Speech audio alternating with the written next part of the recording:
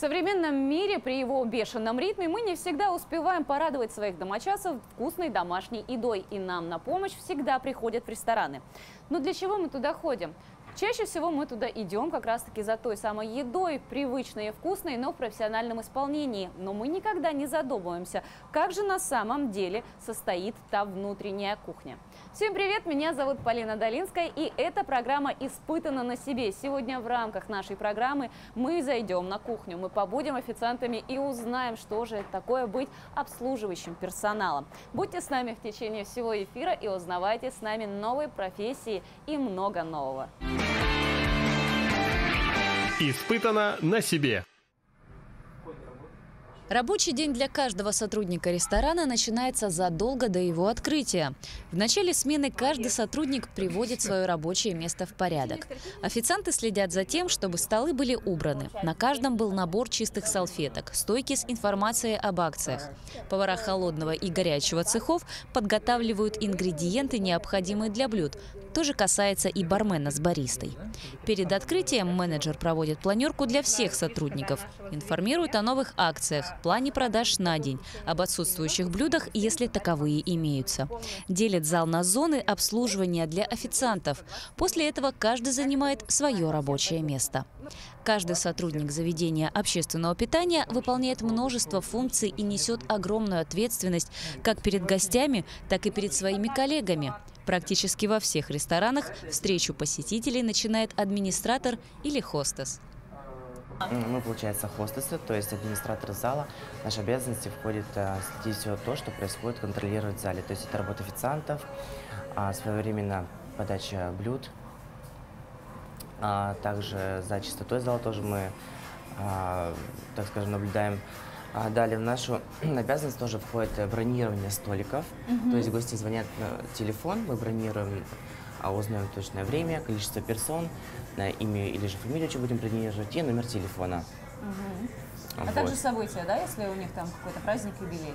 Да, это тоже обязательно отмечаем. А, вот. а, далее, это планшет, куда мы, собственно, записываем брони. Гостей встречаем мы здесь. а, Соответственно, встречаем, узнаем, сколько их будет персон, провожаем до столика.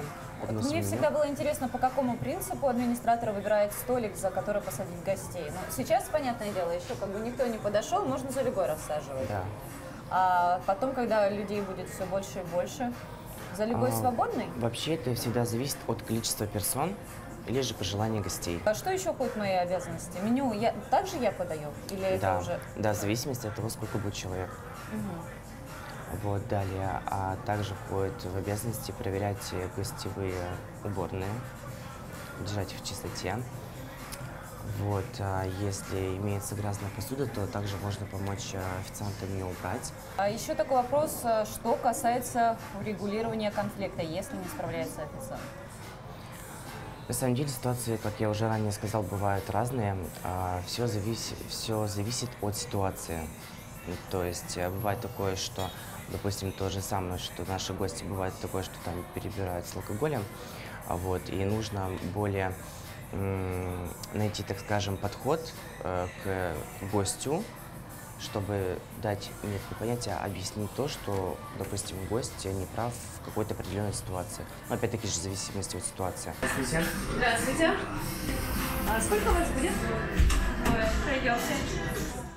Администратор – это лицо ресторана. Он взаимодействует со всеми подразделениями, так как каждый из них вносит свой вклад в бесперебойную работу ресторана. Есть еще один сотрудник, который всегда на ногах, и это официант. Именно он вступает с посетителями в тесный контакт, формируя общее впечатление о ресторане. И если общение с официантом оставило у гостя неприятный осадок, исправить это будет крайне сложно. Можно сказать, что официант – это тот, кто задает правильный тон. Полина, знакомься, это Арсен. Арсен у нас работает уже три года. А, Он наиболее такой опытный официант, который будет э, стажировать тебя сегодня официанта. А, Сегодня будешь принимать столики. То есть сначала примет Арсен, ты посмотришь, как все это пробивается, и потом уже будешь э, пробивать ты и принимать столики сама. Все, хорошо. Все, отлично, будут вопросы, спрашивайте. А? Все, спасибо большое. Ну, Арсен, у меня вот сразу будет вопрос, пока я думаю, у нас есть пару минут да, до следующего заказа. Э, За три года много было разных ситуаций, Ну, связанных с конечно. работой. Вот, расскажи. Во-первых, работа с людьми, она требует очень много сил, отдачи и энергии, как и физической, так и эмоциональной. Эмоциональное больше. Да, вот э, как всегда быть э, улыбающимся, э, Само собой. официантом, к которому хотят люди приходить и оставлять чаевые, но и при этом еще и даже когда клиент не прав, он делает так, чтобы он думал, что прав. Нельзя эмоции плохие показывать им. Ага. А есть ли какие-то фишечки, чтобы сразу к себе расположить столик? Потому что вы будете партнерами в течение всего вечера. Улыбаться просто нужно больше и все. Как давно пришел в эту профессию? Что было самое, наверное, сложное? Или, может быть, Сложно. самое яркое, что ты запомнил? Самое яркое. Я не особо разговорчивый, так что мне вот это вот самое сложное официант- официантом было работать. Много говорить нужно, типа, эмоции положительные показывать. Я не особо это умею. Я заметила, что официанты, когда принимают заказы по ресторану, они это записывают в уме. Некоторые, да. Ну, если можно запомнить, то да. Я видела один из лайфхаков, которые используют э, официанты. Они в своем блокноте рисуют э, стол и делят его на части, то есть на количество гостей. И каждому гостю присваивают какое-то обозначение. То есть это может быть Ж – женщина, М – мужчина, Р – ребенок. И уже по вот этим секторам записывают, кто что заказал. Нет, у каждого ну, так ну, неудобно. Вдруг они больше закажут там не вместятся. Можно просто линию делать, чтобы каждому гостю ну, по очереди. Неважно, мужчина, женщина. И еще такой момент, вот можно на конкретном столе, допустим, провести. В какую сторону мы считаем первого гостя? По часовой или против? Или А, шашечками Сначала с как-то? детей начинаем. С детей. С детей, женщины, мужчины, потом в конце. Ну и хозяин стола самый последний. А как определить, кто хозяин стола? Самый старший. А! То есть это все равно видно уже как-то на уровне интуиции. Официант является одной из ключевых фигур ресторана. От его работы зависит не только выручка, но и то, какое впечатление производит заведение. Начиная от внешнего вида, компетентности и умения расположить к себе, зависит, станет ли клиент вашим постоянным посетителем. В обязанности официанта входит сервировать столы, контролировать чистоту, состояние и комплектность посуды, приборов, салфеток на столах, знать все позиции меню, основные и сезонные блюда и напитки, предоставлять посетителям качественные консультации в отношении особенностей блюд и напитков, их идеальная сочетаемость, принимать заказы у посетителей, подавать блюда и напитки, принимать меры по разрешению возникших у посетителей Поставьте проблем, создавать в заведении атмосферу гостеприимства, предоставлять гостям счет и получать за это оплату.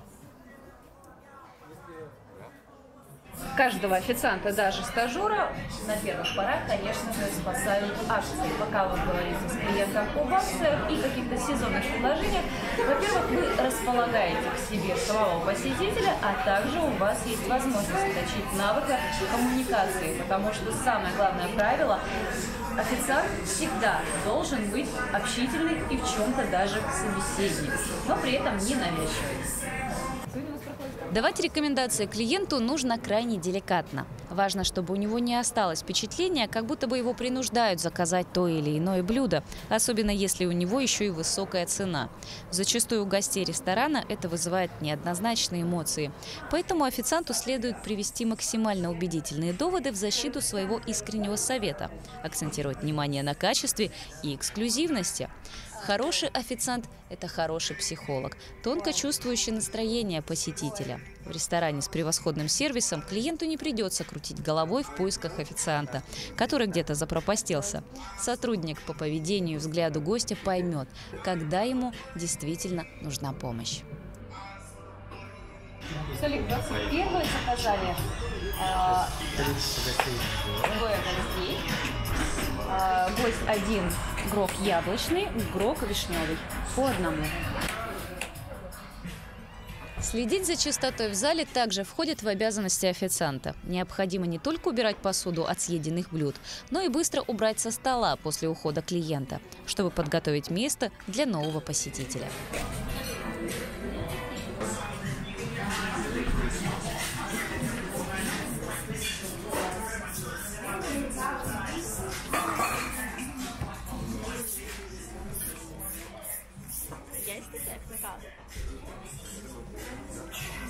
do, do, do.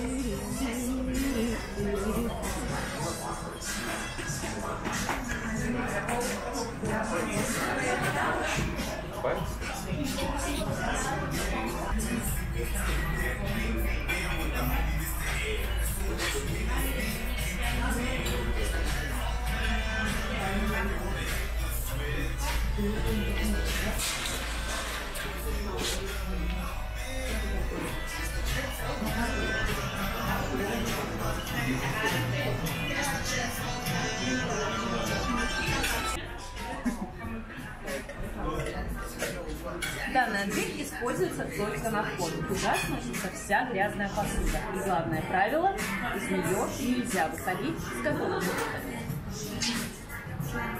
В этой зоне остается грязная посуда. После этого ее э, загрузят в посудомоечную машину. В случае, если что-то было пролито на поднос, поднос, э, он так же, как и моя форма в течение дня, это мой рабочий инструмент. Он протирается и оставляю его с собой.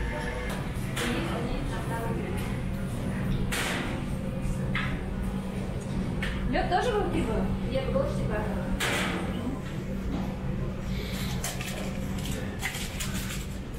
А это куда? Корзинку с собой набираем. Подносит, руку идут с собой набираем. Все, хорошо. Если бы вы знали, как я эффектно мою столы вообще.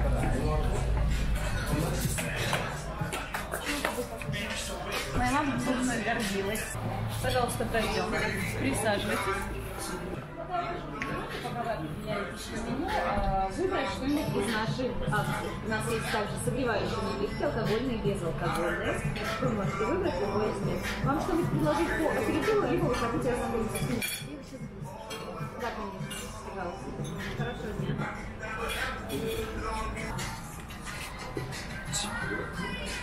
Готовы сделать заказ? Да. Просто с перцем грибами и,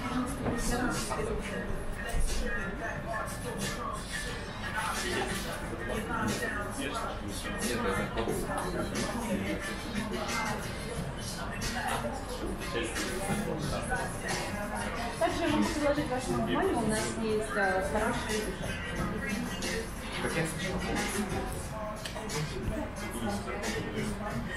Могу порекомендовать вам хорошее пирожное Наполеон свежее и также торт роман.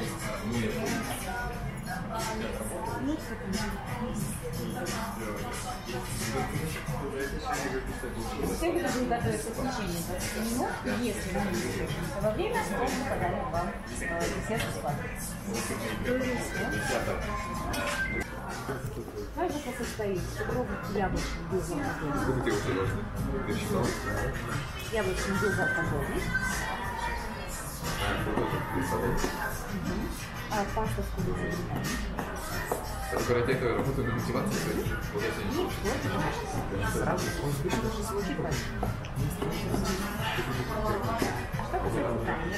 А, горячая готовит пасту готовит минут 20, коктейль минут 7. Ну, десерт по готовности он готов. В течение 7 10 Долго что-то. А, то есть, получается, парни работают, знаешь, они касались сразу на всех ставят. А, я это назову по своему, по номеру своего счета. Потом черт нужно обяза- обязательно, э, они могут это пособить сделать. Да. На, на кухню, на столах, тоже так. Пойдемте готовить яблочный пирог.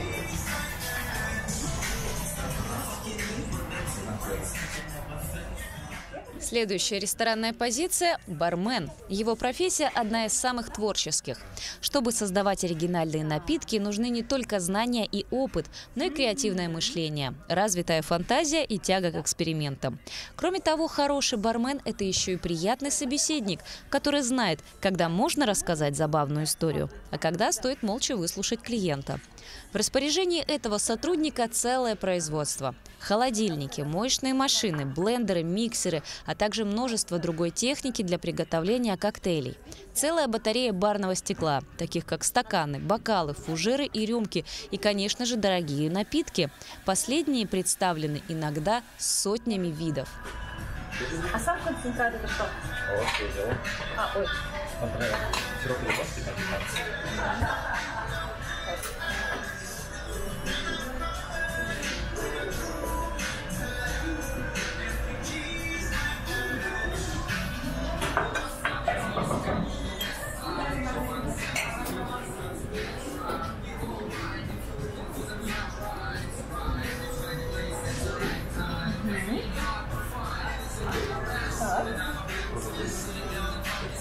получается.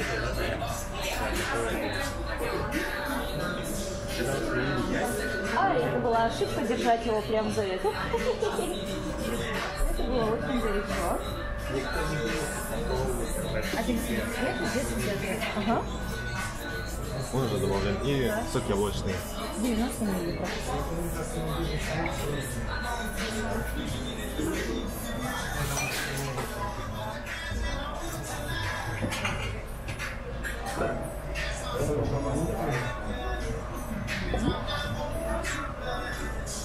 Не, это надо еще подогреть.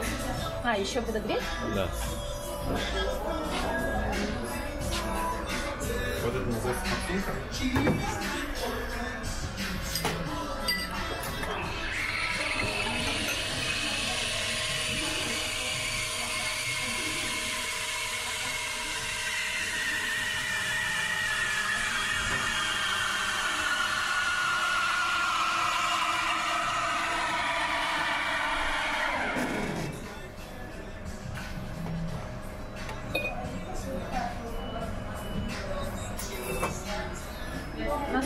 После каждого напитка выбирается, да?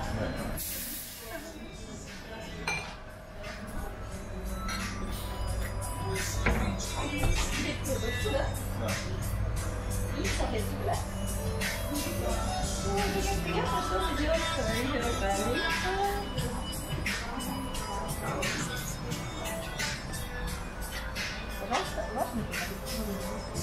да?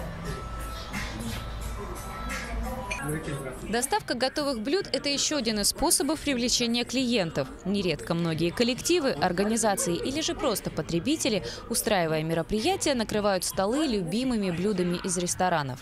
Здесь так же, как и при обслуживании в зале, есть свои нюансы. Во-первых, нужно своевременно среагировать на поступление заказа, внимательно уточнять детали и блюда, информировать о стоимости и времени доставки.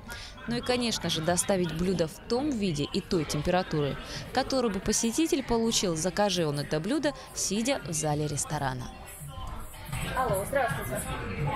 Здравствуйте, это гриль-бар шашлыков. Я звоню для подтверждения заказа по адресу Амосова 10. Все верно? Алло, вы меня слышите? Здравствуйте, Афанасий. Я звоню из бара шашлыков для подтверждения заказа. Ага, номер телефона, который указан как контактный 999 060 11 23. Все верно? Адрес Амосова 10. Это частный дом, организация или же квартира. Вы выйдете, предварительно вам позвонить. Ваш заказ составляет два буррито, верно? Сумма к оплате 638 рублей. Все верно? А, Доставка по центру города бесплатная. Подскажите, пожалуйста, как вам будет удобнее совершить оплату? Без наличных или наличных расчетов? Без наличных. Время ожидания составит час 30, час 40 минут. Вы готовы ждать? Все хорошо, Афанасий, ваш заказ подтвержден. В течение часа 30, часа 40 минут ваш заказ будет у вас. Предварительно передам Сьеру, чтобы он позвонил вам для того, чтобы вы встретили. Доброго, хорошего дня. Я тут мозг со страха ухом все на свете понажимала. Мгм. Как он пробивается, если нету столика? А, столики у нас с 30 начинаются. Так как у нас 28 столов, а, мы можем доставку с 30 столика пробивать. Пишем первый. А, один гость. Мы пробиваем с спецобслуживанием. Да, это у нас доставка. Заказали а, буррито, он у нас находится в горячем блюде. Пробиваем буррито. Буррито две штуки.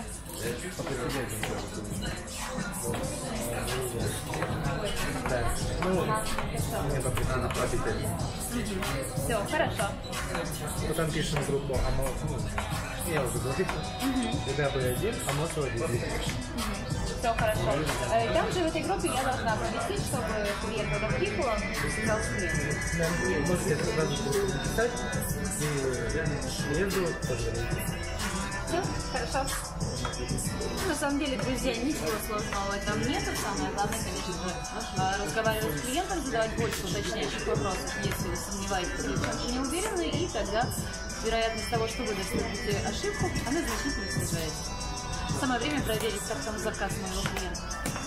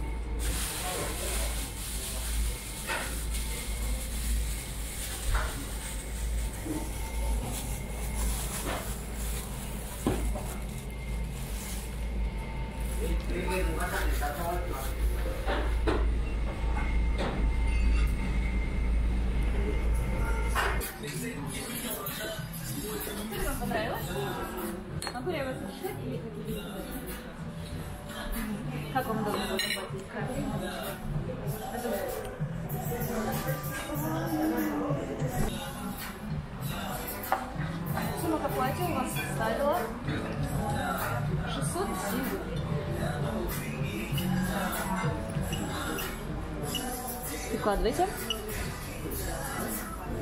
Все ли вам понравилось?